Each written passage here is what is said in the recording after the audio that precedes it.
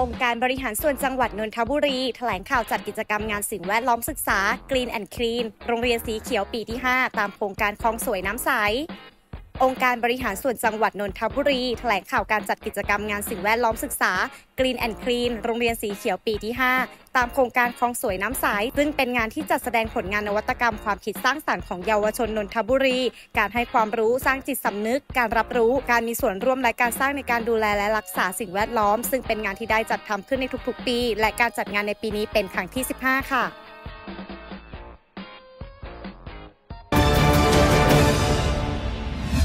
วัตถุประสงค์ของการจัดงาน Green and Clean โรงเรียนสีเขียวนะครับ ครั้งที่ 5 ขององค์การบริหารส่วนจังหวัดนนทบุรีนะครับ ซึ่งเป็นนโยบายหลักของท่านพันตำรวจเอกธงชัยเย็นประเสริฐท่านนายกองค์การบริหารส่วนจังหวัดนนทบุรี ที่จัดขึ้นในวันที่ 18-19 พฤศจิกายนที่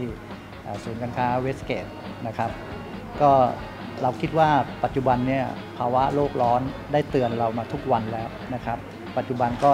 จะมีภาวะโลกร้อนอย่างเช่น อากาศร้อนฝนไม่ตกต้องตามฤดูกาลมีการใช้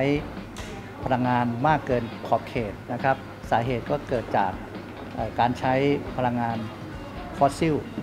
เช่น น้ำมันเชื้อเพลิง และฟอสซิลเอ่อถ่านหินมากเกินไปนะครับ จึงจำเป็นอย่างยิ่งที่จะต้องมารณรงค์ในเรื่องของการ รักษาสภาพสิ่งแวดล้อมให้มีการสมดุลเกิดขึ้นนะครับ ไม่ให้เกิดภาวะโลกร้อนหรือการปล่อยปล่อยก๊าซเรือนกระจกให้มากขึ้นนะครับ ซึ่งเป็นโครงการหลักที่ทางองค์การบริหารส่วนจังหวัดนนทบุรีได้คิดค้นและดำเนินการขึ้น โดยมีส่วนร่วมของภาคเอกชน โรงเรียนเอกชน โรงเรียนในสังกัดอจนนทบุรี โรงเรียนในสังกัดสวทของจังหวัดนนทบุรีทั้งหมดนะครับ ซึ่งจะมาร่วมคิดร่วมทำโดยเฉพาะเยาวชนของเราได้มีพื้นที่ในการแสดงแสดงออกนะครับ โดยจะจัดกิจกรรมต่างๆ ซึ่งเป็นกลยุทธ์ของแต่ละโรงเรียนที่จะนำมานำเสนอให้กับพี่น้องสื่อมวลชนได้ได้รับชม แล้วก็ได้ข้อแสดงข้อคิดเห็นต่างๆนะครับ ทั้งนี้ทั้งนั้นก็ เป็นการที่จะทำให้โลกของเราอยู่ทุกวันนี้มีเกิดการรักษาให้มีสภาพความเป็นอยู่ หรือสภาพการ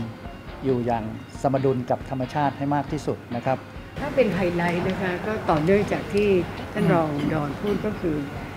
ความสำคัญในเรื่องว่าเราจะปลูกฝังเยาวชน รุ่นนี้เพื่อที่เป็นอนาคตอยู่ในอนาคตข้างหน้าได้ยังไง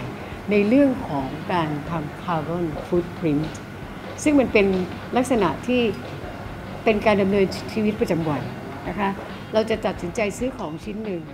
เราเเขาจะจะต้องคิดถึงว่ามันจะต้องมีกระบวนการใช้ทรัพยากรอะไร ใช้พลังงานอะไร แล้วมันจะสูญเสียแล้วเมื่อมันเป็นขยะเลิกใช้แล้วเนี่ยมันจะมีค่าเป็นยังไง กระบวนการเหล่านี้โรงเรียนเอกชนและโรงเรียนในจังหวัดนนทบุรีเนี่ยเรากำลังพยายามมากที่จะ บริณาการเข้าไปในการเรียนการสอน และพยายามมากเลยที่จะปลูกฝังกับเด็กๆ เพราะฉะนั้นไฮไลท์ในงานนี้เราจะมีกลุ่มเสวนาของเยาวชนและองค์กรที่เกี่ยวข้องพูดเรื่องนี้นะคะซึ่งอยากจะออยากตัวเองก็ยังอยากรับฟังมากเลย เพราะมันเป็นแนวปฏิบัติจริงๆนะคะแล้วก็ก็สำคัญก็คือออการแสดง ต่างๆของเด็กๆ ที่ได้รับการปลูกฝังมานะคะมันไม่ใช่ของปลายปลายทางแต่มันเป็นต้นทางในเรื่องการใช้ความคิดสร้างสรรค์นะและจะทำให้เด็กเยาวเด็กและเยาวชนในนนทบุรีเนี่ยเป็นผู้นำทางด้านนี้ จากเมืองน่าอยู่ livable cities ก็จะกลายเป็นเมืองที่เป็นความเมืองอัจฉริยะในเรื่องของการดำรงชีวิตที่เรียกว่า smart city ก็ในส่วนของโรงเรียนสังกัดองค์การบริหารส่วนจังหวัดนนทบุรีนะคะ ก็จะเป็นโรงเรียนในท้องถิ่นที่เรามีทั้งหมด 34 โรงเรียน เราก็จะไปนำเสนอในส่วนของกิจกรรม เป็นการประมวลความรู้ที่เด็กๆ นักเรียนเยาวชนในโรงเรียนทุกๆ โรงเรียนนะคะ ได้ดำเนินกิจกรรมกันอย่างแท้จริง ให้ออกมาเห็นในรูปแบบของโครงงาน แล้วก็มีเรื่องของสื่อต่างๆ และก็วัตถุนะคะที่เด็กๆ ได้ดำเนินการให้ออกมาเป็นในรูปของรูปแบบในที่ให้ทุกท่านได้เชิญเชิญชมนะคะว่าเด็กๆของเรามีแนวคิดในการที่จะทำยังไงที่จะลดโลกร้อนทำยังไงที่จะสร้างสิ่งแวดล้อมออกมา ให้เกิดมูลค่าจากการเรื่องของธนาคารขยะนะคะ ไม่ว่าจะเป็นเรื่องของ Zero Waste ต่างๆ ด้วย แล้วก็โครงงานที่เด็กๆ ได้ดำเนินการ นอกจากนั้นก็ยังมีในเรื่องของคลองสวยน้ำใสนะคะ ที่โรงเรียนแต่ละโรงเรียนเนี่ยมีติดกับ คลอง เขาก็มีบริบทที่จะนำเสนออย่างไรที่จะทำให้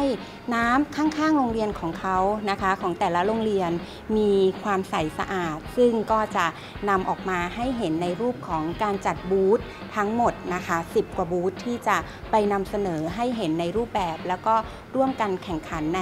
กิจกรรมต่างๆ ตามที่ของท่านดรอมราได้ชี้แจงมาด้วยค่ะ ก็อยากให้ทุกท่านนะคะ ไปชมผลงานเด็กไปดูแนวคิดว่าเยาวชนในยุคนี้เขามีแนวคิดมีไอเดียสร้างสรรค์ยังไงบ้างนะคะ ซึ่งก็จะสอดคล้องกับโครงการ Green and Clean ในครั้งนี้ค่ะ ขอบคุณค่ะ การคาดคาดหวังจริงๆ รัฐบาลเนี่ยมีเป้าหมายที่จะลดภาวะโลกร้อนเนี่ยในปีให้ให้ให้ให้มีการเป็นกลางทางคาร์บอนเนี่ยปี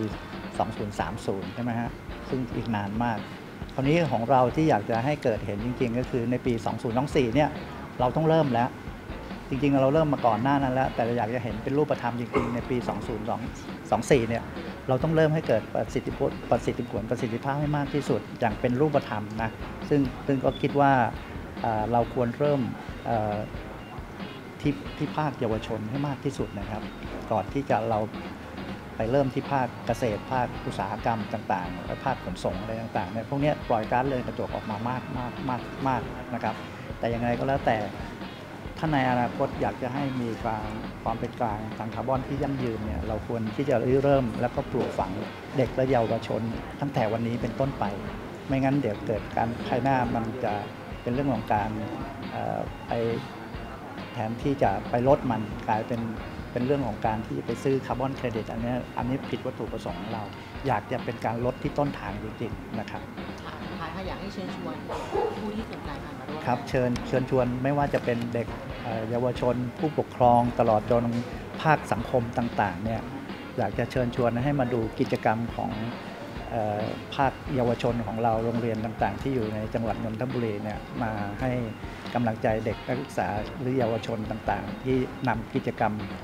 ซึ่งเป็นกลยุทธ์อย่างหนึ่งที่จะนำไปสู่การลดก๊าซเรือนกระจกที่จะเกิดขึ้นในอนาคตให้ลดน้อยลงเนี่ยเราควรให้เอ่อกำลังใจและปลูกฝังเยาวชนของเราให้มากที่สุดนะครับ ก็ขอเชิญชวนในวันที่ 18-19 พฤศจิกายน 2566 นะครับ ที่ศูนย์การค้าเซ็นทรัลเวสเกตนะครับชั้นที่ 4 นะครับขอเรียนเชิญด้วยนะครับ